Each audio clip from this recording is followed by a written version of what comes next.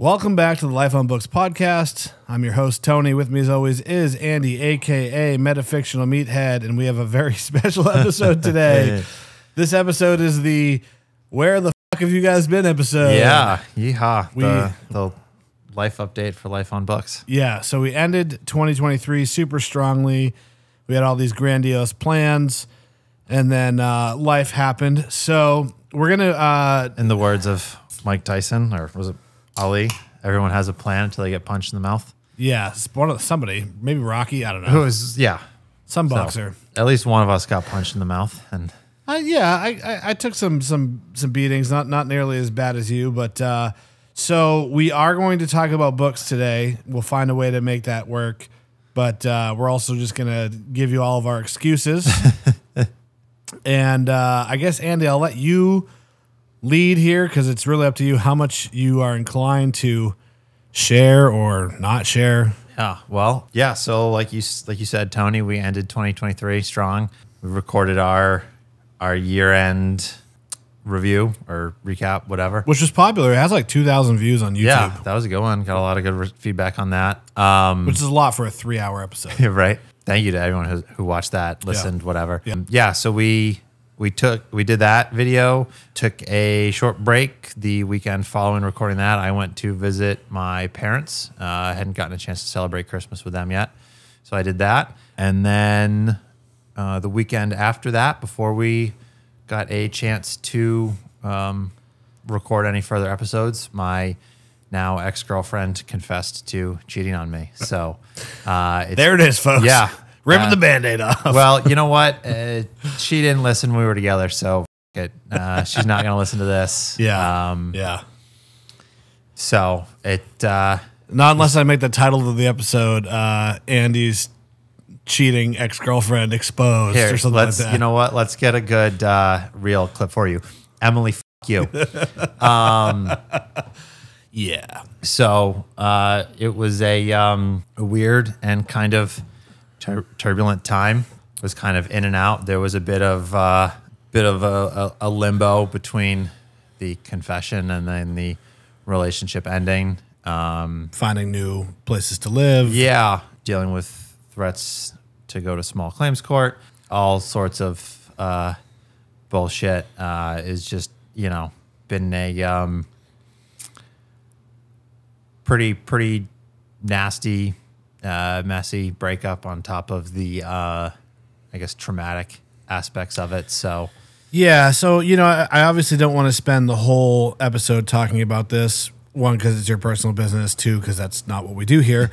However, I do think that we do have a pretty close relationship with a lot of the people that listen regularly. Yeah. I'd consider some of them friends, even though we might not have ever met in person. And of course, some people we have met in person that are, are listeners. I will say that I was not necessarily surprised that she cheated on you, uh, and not because I thought she was a cheater, but I've just always felt she's a selfish person. yeah, And full disclosure, I was never a huge fan. However, I try to be very respectful of my friends' relationships. I'm not the one that has to be with that person, so it's up to them. But you know, we had received com or I had received comments from other people, just in like them witnessing interactions between the two of you and how she spoke to you. And I think what stands out the most to me is the day that we I met her, you were competing in a powerlifting competition, uh, which if you're not into powerlifting can be a little boring, understandably so.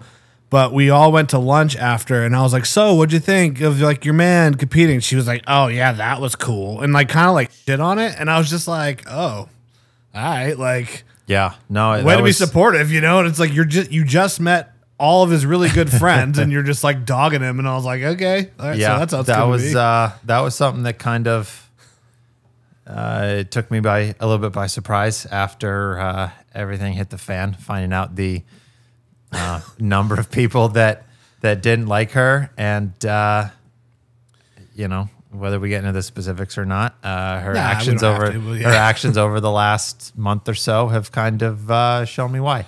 But yeah, I mean, and you and I have had this conversation a couple times over the last month, and I and I don't want to justify emotional betrayal of any sort because it's it's not okay.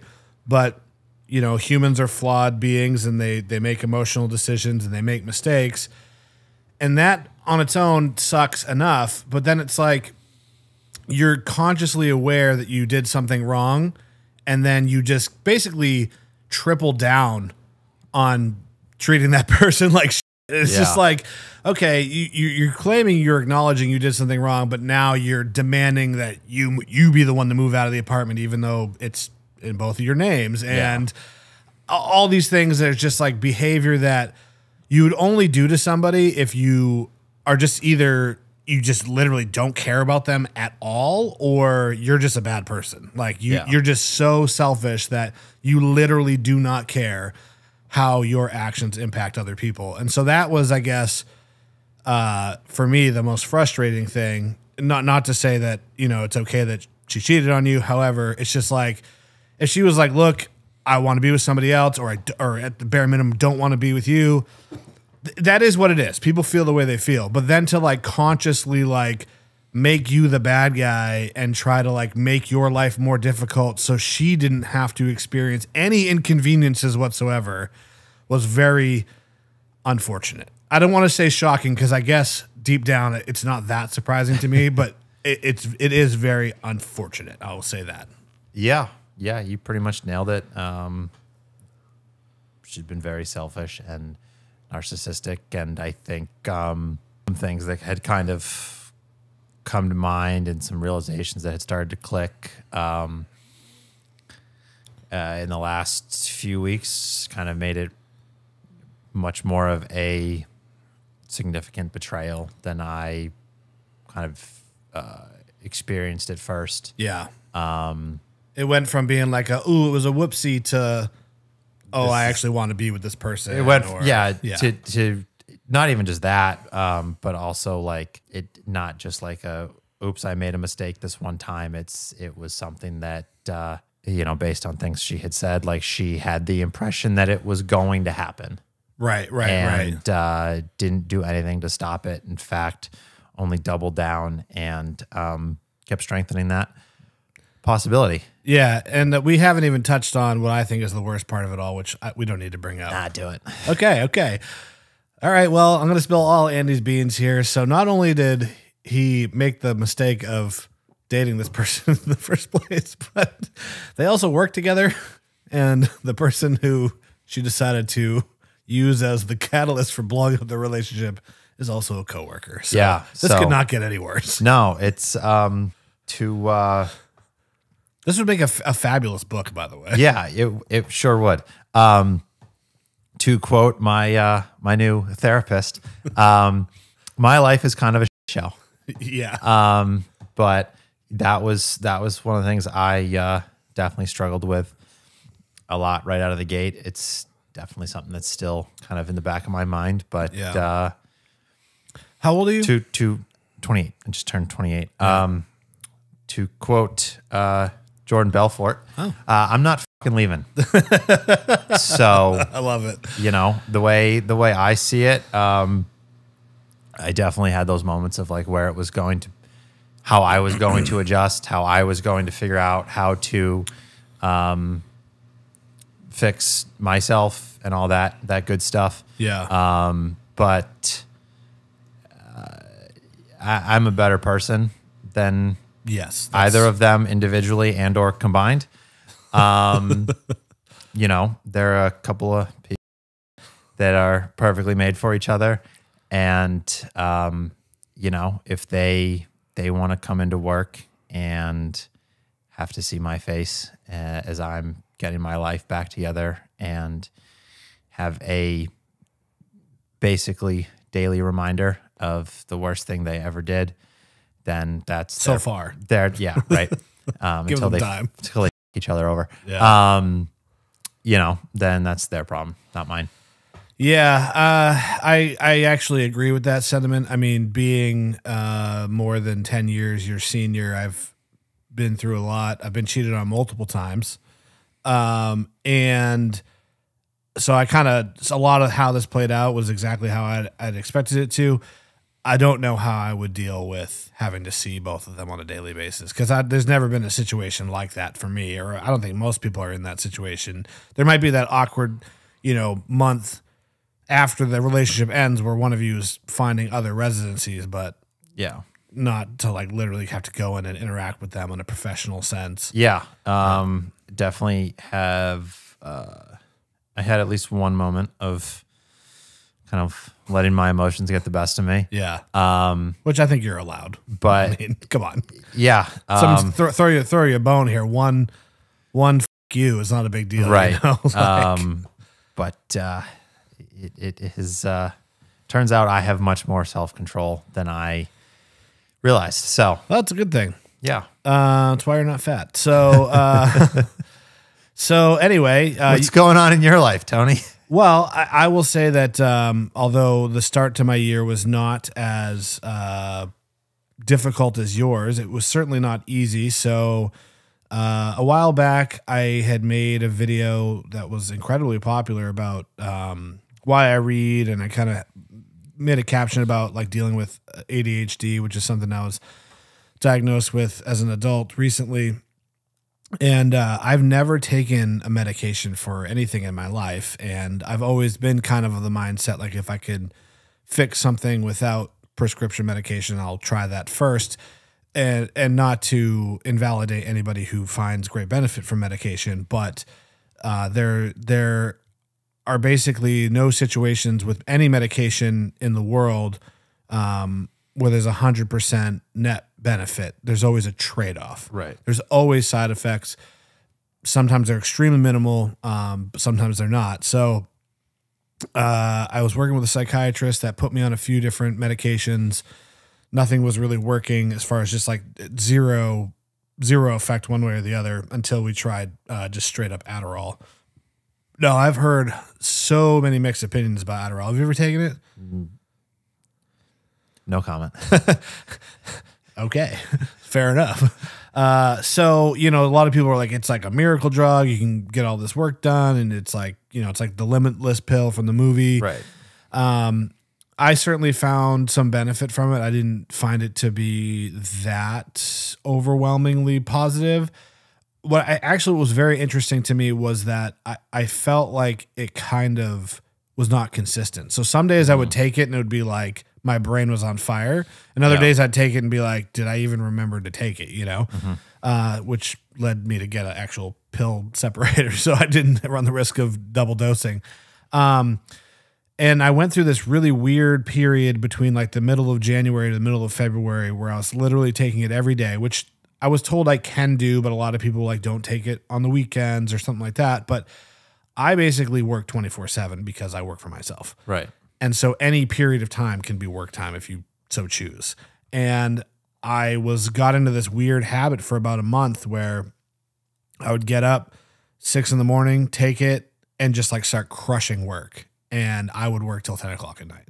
I was getting less than a thousand steps a day. I was like literally only getting up to go to the bathroom and let the dogs out and uh, just working. And it was great in the sense that like I got kind of really caught up on a lot of projects I needed to tie up, uh, you know, put a bow tie on and uh, and a ribbon on and, and and package up, but obviously not healthy otherwise. Right.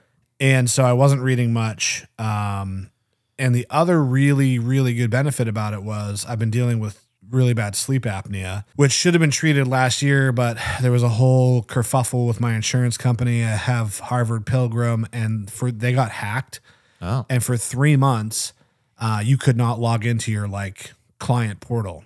And so I had my account set up on AutoBill, and I noticed it wasn't being debited from my account. And I went to log in, and it was like, "Oh, we've been hacked. We'll let you know when it's back."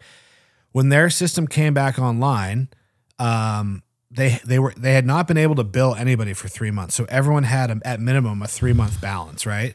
And they were like, "You need to pay this in two weeks, or we're going to cancel your account," which is like a little extreme considering that like it's not our fault, Right. right? Fortunately, I'm not in a position where that was a big deal, so I just paid the balance. What I did not realize was when their system reset, it did not automatically enroll me in auto billing again. Oh. And so a month went by and I didn't pay the next month, and they just canceled my policy. So I literally got prescribed. Uh, I'm trying to get the sleep study done so I can get my sleep apnea treated. And I got prescribed one of these medications. And I went to the pharmacy and they're like, "Oh yeah, you don't have insurance." And I was like, "What are you talking about?" Yeah. And I went to like log in. And it's like, "Yeah, you're not a member anymore." And I was like, "What the hell?" So I had to pay. Um, I think at that point I was like two months behind on that, and so I had to pay that. And before they would even consider re-enrolling me. They're like, yeah, you can pay the two months, but we might not re-enroll you. It's like, well, why would I do that? That doesn't even make sense. Why would I pay you if you're not going to give me the service? Yeah. Fortunately, they they put me back on my plan, but it took like a month for that, and I had a referral for a uh, sleep study, but referrals expire, and in that period, it expired.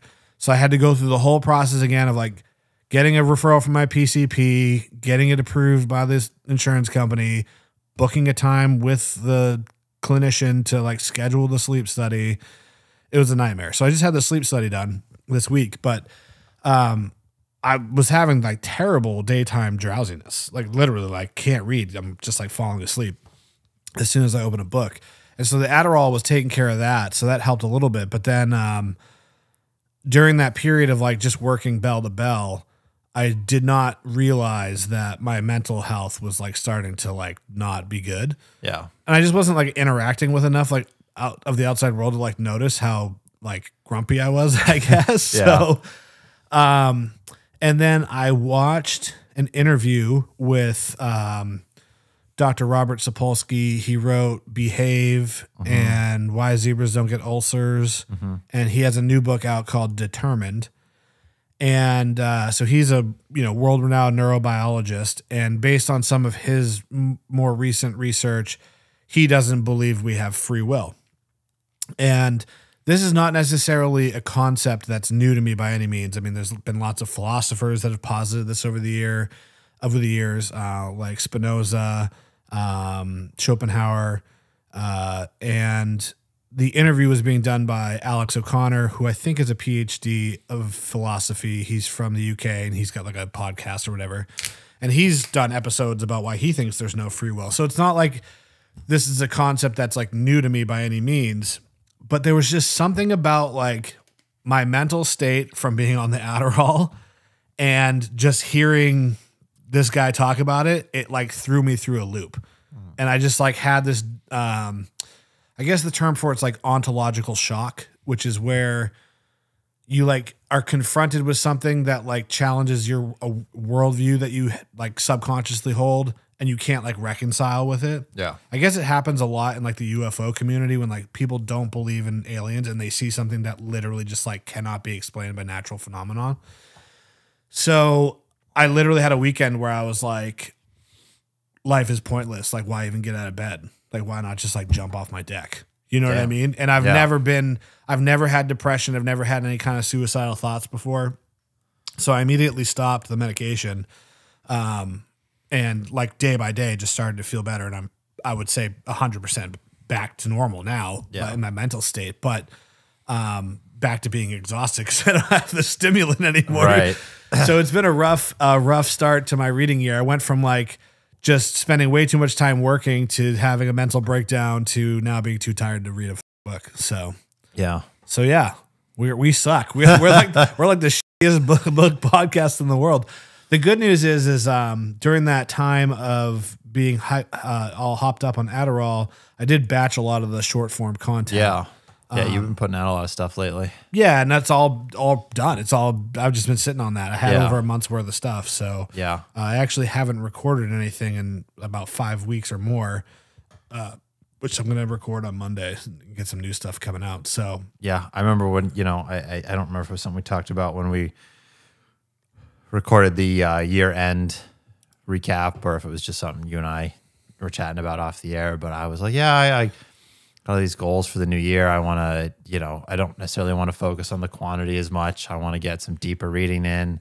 Um, try a little bit, be a little bit more studious and take notes, things like that while I'm reading, and um, whether it's it was you know written content on the um, the website you set up for the podcast yeah, or just more in depth posts and captions uh, on Instagram or doing some sort of like video content um, in, in some variety. You know, I was like, I definitely want to do more like substantial things talking about what I'm reading. Yeah. And then uh, life got in the way, and I I have not been able to focus like at all. Um, Yeah, I think it's underrated uh, how difficult it is to focus when you have some type of emotional distraction or distress. Yeah, it's it's actually something I um, had recently talked about in uh,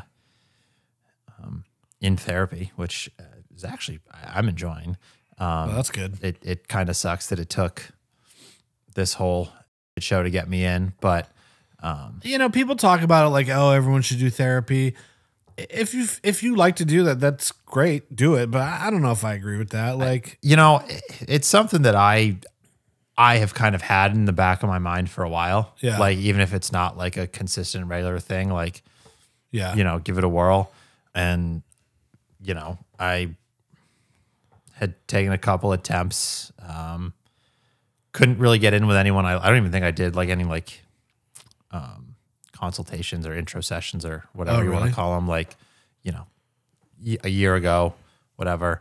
Um, just got weird vibes from who I had been talking to before it even started. it's hard to find something. And then, like. yeah, um, I got into uh, I, I did one intake session um, back in December, um, and I didn't really think it was a good fit. But some of the stuff he had said kind of changed my per- perception on how I was feeling. Yeah. because I was starting to feel like I was getting like depressed, things like that. You know, I think I had told you. Um, well, this would have been it would have been after um, the breakup, but I had told you that I was feeling like just like really like mentally drained, Yeah. and just didn't have you know I was pretty much from everything I was like pouring from an empty cup. yeah, Um, so I was starting to feel like maybe I was kind of going through a, a depressive period, and um, in that intake session, even though I that particular therapist ended up not being a good fit, you know, he kind of went through the like clinical markers of depression. And I forget how many there, they there are and how many you have to the minimum you have to meet for them to like actually move closer to a diagnosis but like I was you know I only had like hit like one or two of them and he was like honestly I think you just have a really a, a problem with stress management. Because like it it it'd been a tough few months at work. Um things were not going great in my relationship. Right. um, but uh, anyway, going back to what I was saying, um, something I, I had recently been talking about with my current therapist was about how like one of the things that I really enjoy about reading and what has made it such a good hobby, uh, if you will, or has really helped me kind of keep up the habit is uh, I really enjoy that kind of quiet, uh, somewhat introspective um, uh, time. You know, Yeah. there's no there's no external stimulus, whether it's just kind of comprehending and paying attention to what's going on in the narrative or engaging on a, a deeper level, you know, whatever I was, it was just me in the book and whatever thoughts I was having while I was reading the book. Um, and unfortunately, the last few months, there have been a lot of thoughts, or um, not last few months, last couple months, um, a lot of thoughts running around in my head unrelated to the book. So, right, right. you know, I kind of find found myself uh, going back to, you know, time that I I might have in the past used for reading. Like I would just kind of flop on the couch and put the TV on, and um, sometimes put the TV on and play on my phone at the same time. Sometimes just watch TV. Sometimes just like play on my phone. Yeah. Um, I think kind of, you know, was relying a little bit more on that external stimuli than I had in the past. I think it's important to point out though, that, like that's okay. Yeah. Like reading, while it is enjoyable for probably anyone listening to this, it it's still like an active thing. It still requires effort and work.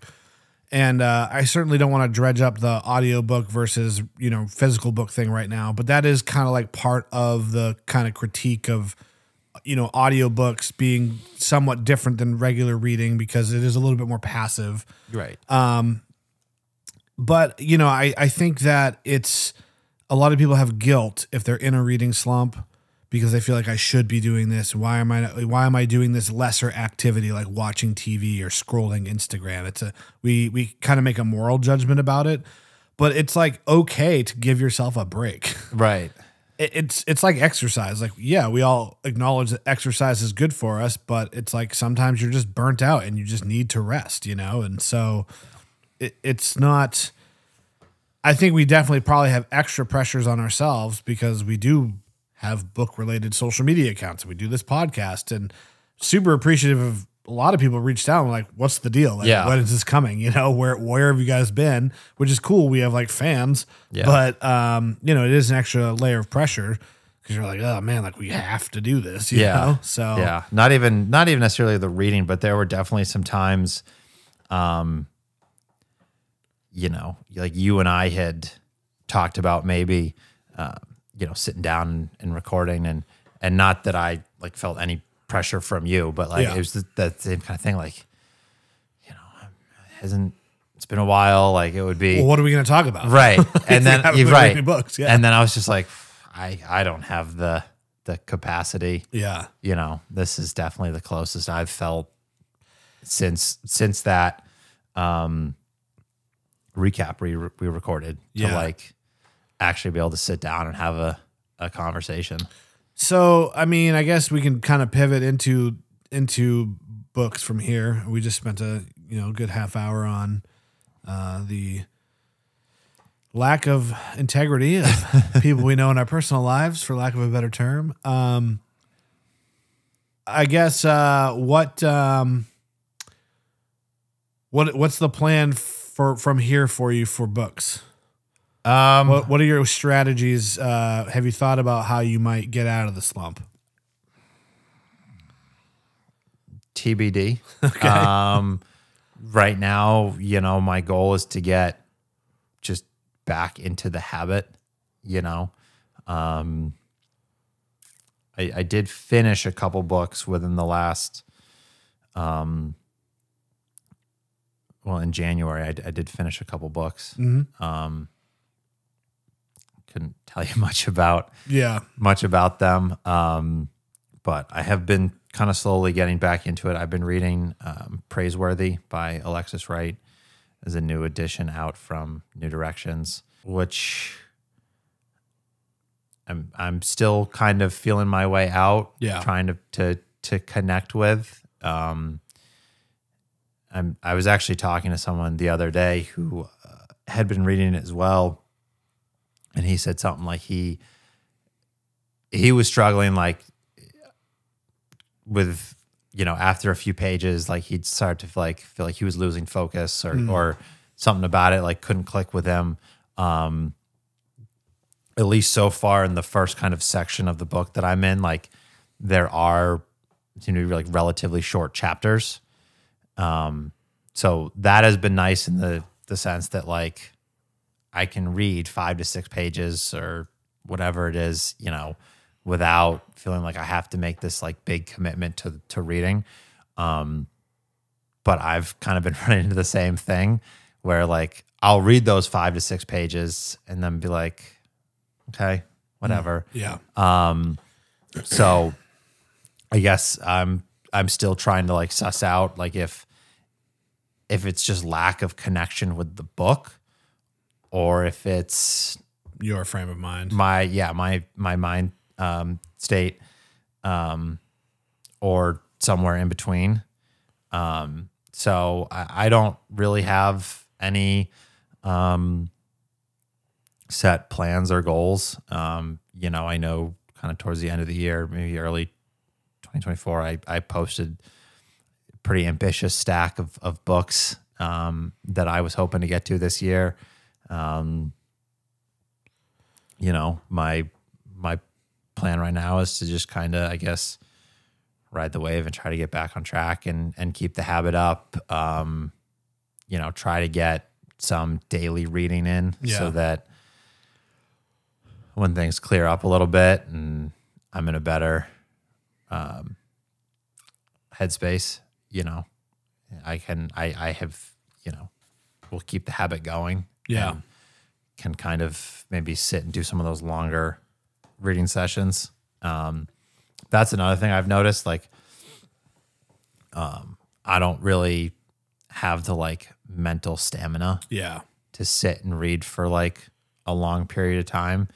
You know, in the past year or so, there were times where like I could sit for hour, hour and a half, Yeah. maybe two hours, and just if I had nothing to do when I was really into the book and just read, um, you know, I might be getting like half hour tops Yeah. these days. So Just, I mean, that's still not bad. right, Um, and not to not to diminish anyone that's like yeah. that Some is- people, 15 minutes is like Right. a, a big accomplishment. you know not not to diminish anyone that like that's their kind of max or that's their their goal is to read 30 minutes a day or or what Yeah. have you but like I, might not even be getting that much like i you know like i just said I, i'm getting like five to six pages and i'm just like i There's something to be said focus. for just like going through the motions in the meantime and just, Yeah. you know, it's gonna it, it's gonna come back. You know what I mean? It's Right. not gone forever. but i do have a um pretty sweet library office space in my new Yeah, your new apartment's really nice. new actually. apartment so that's a cool cozy place to hang out And I do think it's important to focus on the positives. So I understand the grass is always greener on the other side.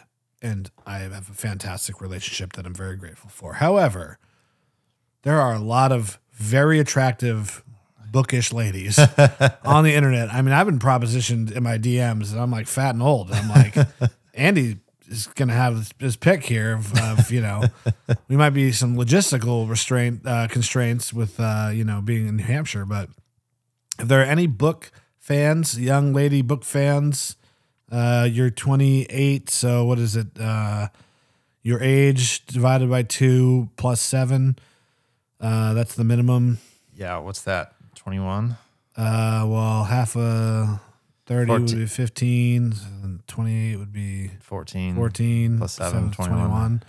And what's the oldest you would date, you think? i don't know I wouldn't advise over like 35. I think the I think you- you're in too much of a different place in your life at that age. yeah When you if you're like 35 and single, you're probably like I need to get into a serious relationship and have kids like pretty quickly if if you want kids, you know what I mean? So, I think in some ways that's kind of like the relationship I just got out of. So yeah. Um, try to avoid that. Um yeah, so you know, I I I, I uh so there's that. You have that going for you. Um there's lots of cool book book gals out there. Um very smart and attractive that I've seen. Um so that's good and I think like I think dating is fun. Like it, it can be exhausting if you've been single for a long time and you've been going on a lot of dates and just it's not clicking with anybody you meet. But also like I do think like meeting somebody new, like that's the most fun part of the relationship. So you get to do that again. So that's cool. Um and you know, this this sounds a little crass, but I actually meant this when I said this to you the first time. Uh, Like none of us really thought she was the right person for you, so I thought she was kind of holding you back, holding you down. So I was like, this is the best thing that ever happened to him. yeah, I I think I mean, it um, sucks now, but Right. No, I, I think uh, I think in a lot of ways I maybe dodged a bullet or uh, definitely. you know I I I think in that uh, initial few weeks where I was kind of like um, you know really grieving what happened and then grieving the the end of the relationship which in some ways I'm still doing you know I I had found out within shortly over a, a week uh, of us ending the relationship that you know she had gone out and started making plans with the other guy Right. um, and basically showed no remorse for how that affected me. Uh, it it changed my perspective of her as a person, and you know how I looked at the past two years. Um, whether it was it was just you know whether it was her uh, kind of emotionally manipulating me or just me kind of having these negative self thoughts. Like I saw a lot of the the issues that we were having, um, not necessarily as as my fault, but I was like hyper focusing on my role in them Right. and you know in the last month or so i've kind of spent a lot more time thinking about like her role or issues that i had with her um, things like that so Well, I, I think kind of like you said like it it will probably be for the best Yeah, I mean the behaviors and it, it's very much in line with what selfish people do. So it's like if I decide I want to break up with you, I'm dating you and I want to break up with you, like I have to be the bad guy and I have to you know deal with the awkwardness and the un the how uncomfortable it is to have those conversations where it's like going out and cheating on somebody you still have to you know be the bad guy but you also are then giving an opportunity for somebody to have a very strong emotional reaction maybe say something they don't really mean and then you get to go ah aha you see you did this thing and now i can you know be mad at you because you called me a you know a bitch or whatever like um so it's it's kind of like a like weak emotionally weak people do it as a they grenade their own relationship because they don't have the courage to just like face the person and be like i need space or maybe this isn't the right relationship for me yeah or whatever which i mean don't get me wrong still sucks to hear uh, and go through but at least you can like avoid all of the other emotions that you have to feel when you've been cheated Yeah. So, so, I, I, I, and I, I'm kind of coming to that realization that it, it wasn't the right relationship for me. Um, yeah and even knowing So- that doesn't make it any easier necessarily Right. because you, change is hard it's, it's, it's made, it has made it a little bit easier. I mean, it's still very weird and awkward and I'm going through a roller coaster of emotions on a weekly, if not daily basis. yeah But Slide into those DMs now, ladies. Get him while he's vulnerable.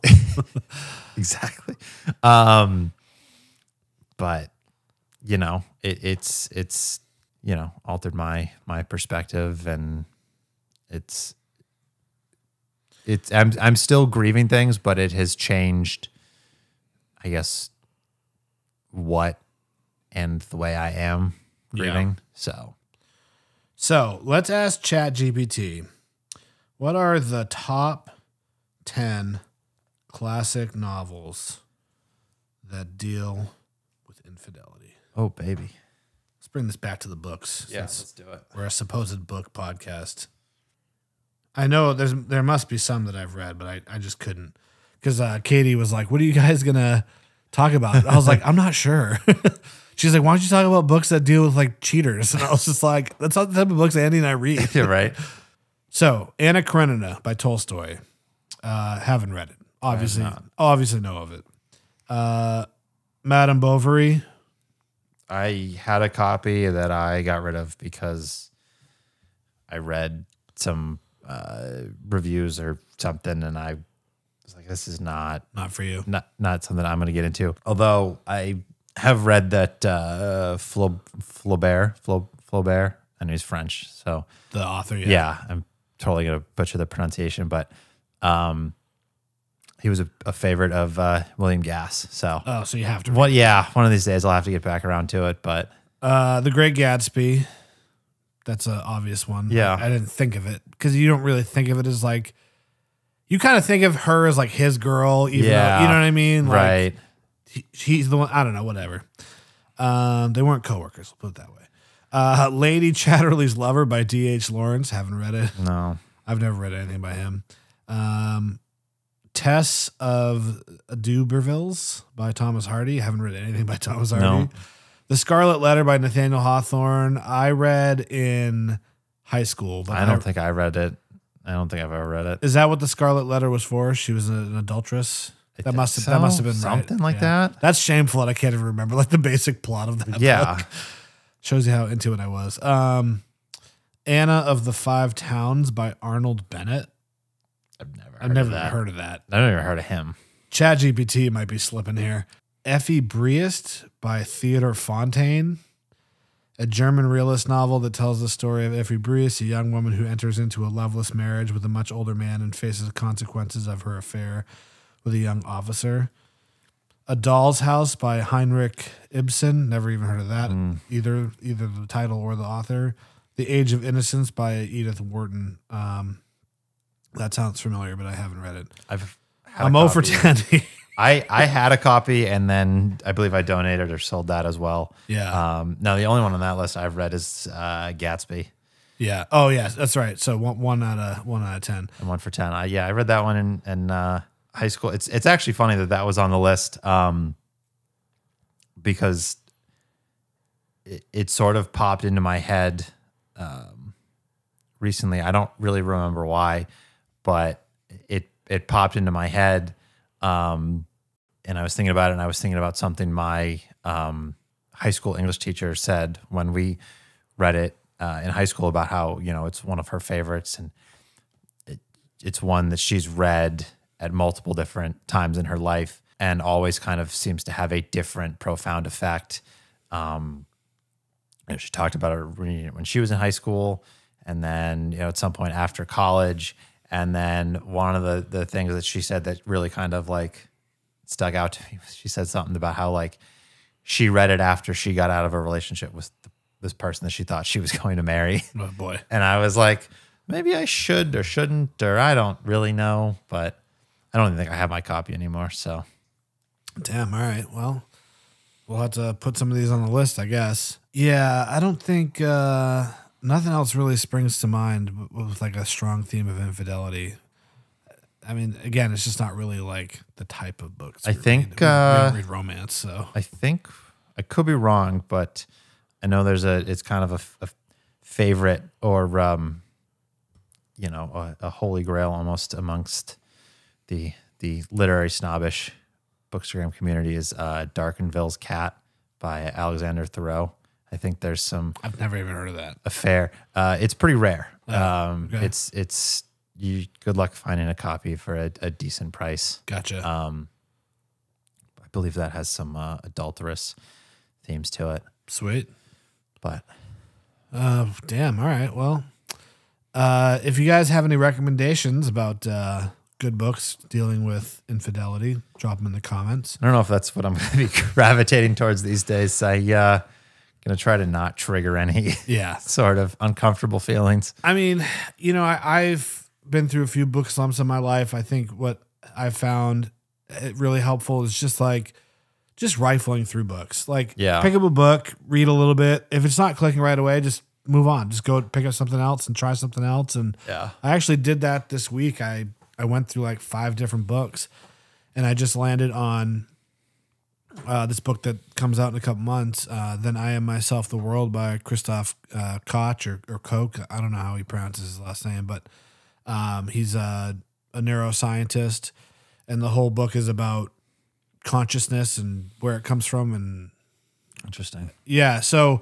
after I, you know, had this uh this ontological shock for lack of a better term, you know, I kind of came back down to earth and I was just like, okay, like this is obviously just one person's opinion uh about the brain and how it works and all this stuff. And obviously Robert Sapolsky is basically a, a genius, but um I wanted to have a little bit more uh I guess more of the intellectual tools to understand some of the concepts he's talking about or Yeah. to even possibly consider alternative theories because um and that that's actually taking me down this really this is what I love about books, right? So like this he's he's got a book coming out that's all about this topic. So he's doing the rounds on social media and interviews and all that stuff to promote it.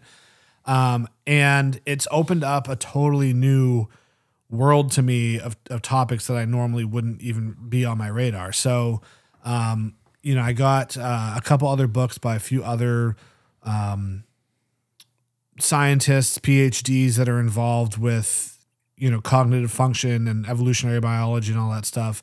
So I've been learning a lot more about that kind of thing. And then also learning um, about some like stuff that I never even considered, like quantum mechanics.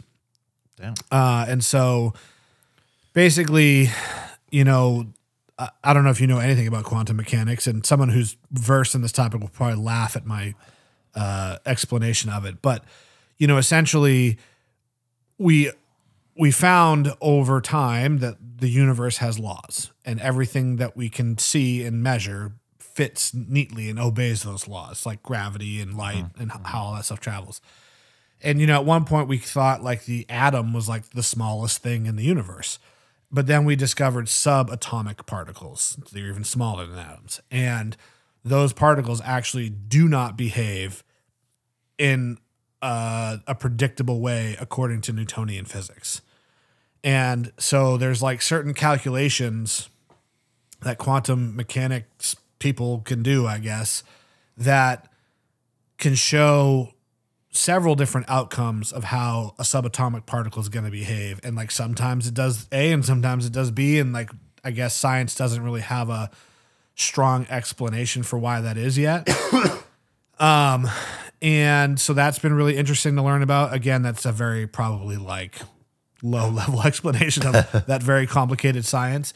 Um, but then I've also been learning about this concept of emergentism. Are you familiar with this? No. This is super interesting to me, and it's actually a little bit more on the phys- philosophical side, but it, it it does converge like mathematics and science and computing. And basically, what it says is like, well, so um, there's a fantastic book called "A Brief History of Nearly Everything" by Bill Bryson, and it's essentially that book is essentially a, a history of the sciences.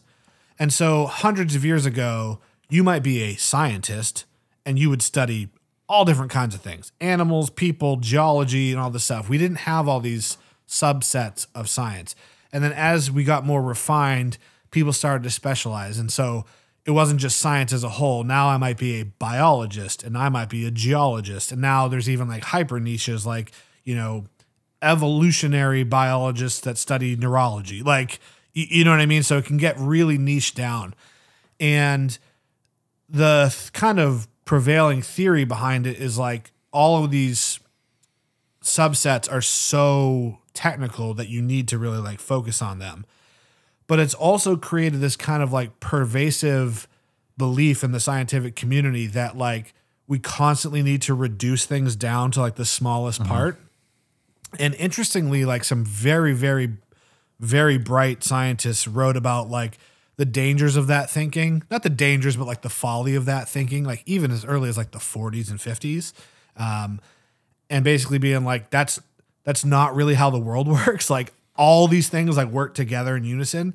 And so emergentism is the kind of concept that um, complex systems are an amalgamation of many things, but no single thing from that system can be extracted and demonstrate what that complex thing does. So, a really easy example would be like if you see a tornado, we know that that's made up of like wind and water and you know what other elements cause a tornado to happen, but you couldn't pluck a water molecule out of a tornado and be like, here's a tornado right here. Like the water molecule by itself does not create a tornado. It cannot create a tornado. Uh, another example is like um, muscles. You know, you have like tendons and muscle fibers and muscle cells, which are special cells that have special functions aside from like normal human cells. But like if you plucked out a muscle cell by itself, there's nothing in there that indicates really like what a muscle does or Yeah. or how it moves. Um, and so it kind of all stems back to this like argument of like free will, interestingly, because you know, basically, so, uh, again, this is a, maybe a, a too reductionist explanation of it, but like Sapolsky's theory is that like all of our th- all of our conscious thoughts start with subconscious thoughts. So how can we really say like we're making the decisions if they're starting as like or also like, you know, you can't make a choice unless you've been like told some certain information that like helps you make that choice.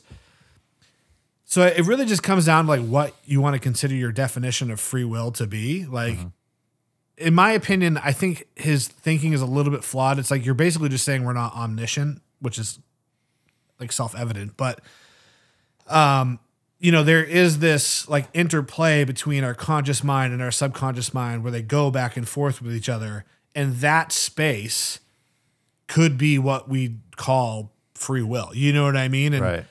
we can't necessarily measure that. You might not be able to. It's like I don't know really what like scientists expected. They're like, oh, we can actually do an fMRI of the brain and see neurons as thoughts are formed. It's like, what do you think? One of them's going to be a marble that said free will on it? Like, Right. You know, so it's just a really interesting debate. Um, and the people that are having this debate at that level are all so much smarter than I am that it's hard to understand fully like both sides of the argument, but it's super interesting. So just from having that one meltdown, I've learned about like two two new types of sciences. Um, and emergentism is also uh, similar to another theory called complex systems theories. And basically, this book that I'm reading by Christof uh, Koch is like um, his take on why we're not just like machines, basically.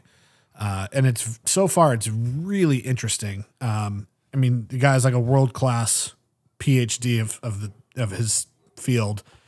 Uh, worked with one of the scientists back in the day that like discovered like DNA sequencing. So he's like incredible. He's like a genius, you know. And Yeah.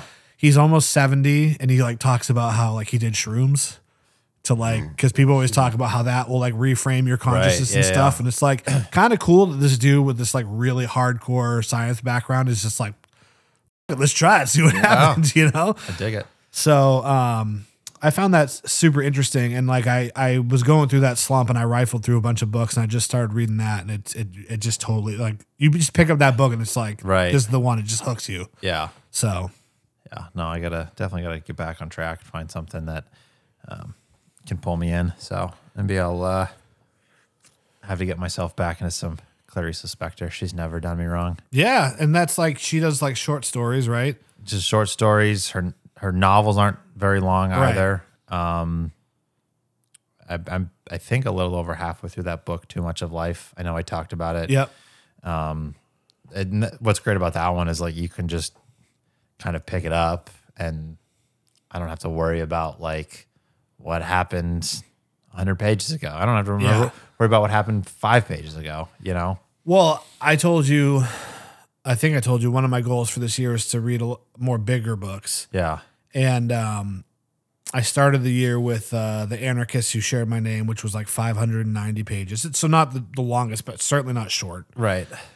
And uh, I just picked up um, a woman back from Moscow by Ha Jin. It's his latest novel, came out in 23. That's 750 pages.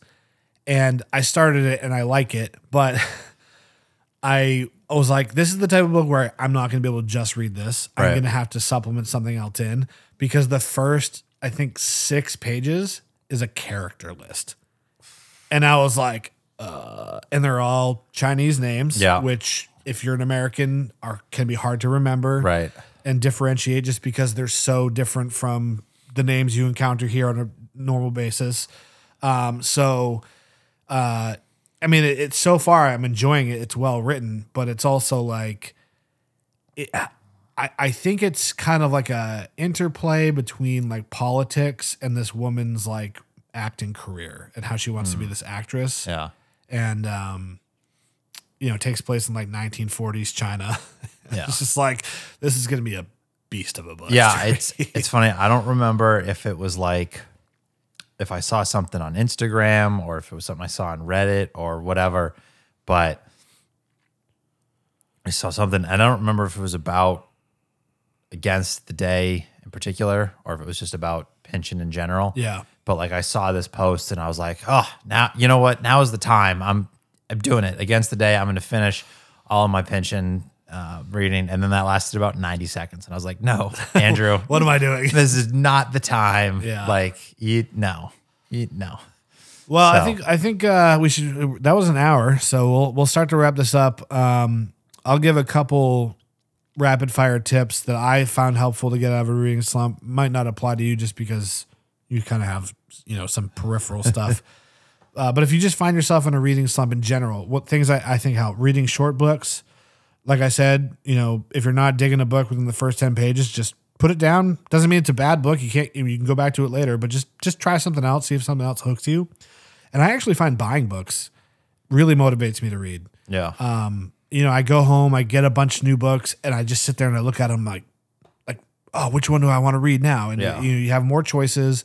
And sometimes what's, what's really funny is like, I'll get a stack of new books, and I'm like, wow, I'm so excited to read these. And then I'll be like, look at books I already own. I'm like, you know what though? I haven't. I've had this for a while and I haven't read it, and so I'll grab Yeah. something I've been sitting on. yeah. Um, I've, I've definitely been doing a lot of uh, emotional book buying and, and doing some some retail therapy, but there have been times in the past where, um, I've I've kind of gone to a bookstore with that in mind of like, whether I leave with two books or seven. Yeah, I, I go in with the idea that like okay something i leave with today is going to be my next read yeah, yeah, yeah. so and that's you know um it certainly i don't think i was you know ha- haven't really gone through a reading slump in a while but like you know there are definitely times where if i'm like you know where i was like i'm not sure what i'm going to read next or like whatever like doing that Yeah.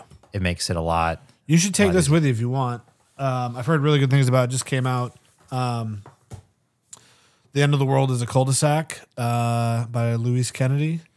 And uh, apparently it's excellent short stories. Oh. So cool 15 novels squeezed between two covers. all right And it's new. So it's trending, you know? I forget what it's about, but I, rem- I remember reading the synopsis and being like, oh, this sounds good. this is a cool uh, title Yeah. Oh, let me grab that receipt. I need that for my records. Yeah, shout out to Gibson's Bookstore uh, in Concord, New Hampshire. They had a 25% off sale last weekend to help Andy cope. And uh, yeah i i, I came out with uh, some good good books there yeah, I think I spent maybe 70, 75 Yeah, I bucks. spent like sixty bucks. So- I think I bought.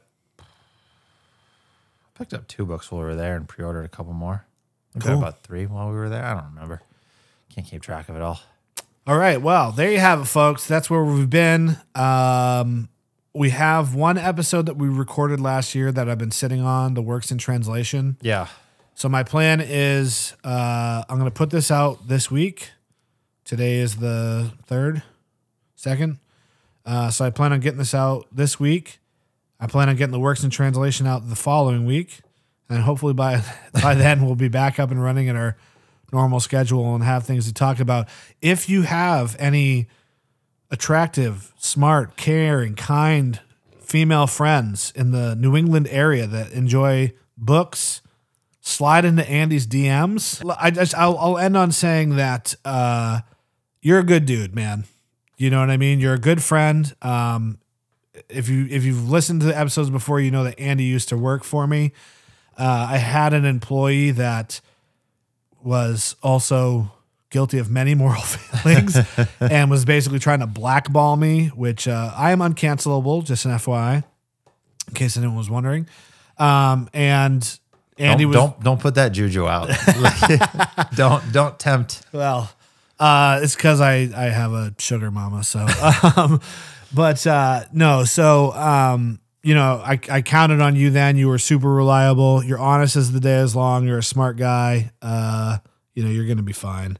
Thank you. I'm actually excited for you to meet somebody that we can go on double dates with. um, but yeah, so uh, I'm uh, I'm excited to uh, to focus on some other things. I don't want to fall into that cliched. I got to focus on myself, do me thing. But I'm I'm I'm excited to do some other things. Um, some some hobbies of mine that I I've had for a while, but I wouldn't say I held back on or Yeah. or you know did lesser of. well, I mean, Um, but but kind of kept it to a, a certain extent to try and give time and space for for my relationship, Right. for um, so that I could be at home to do certain things, so that that she could have space to do some of her stuff, Right.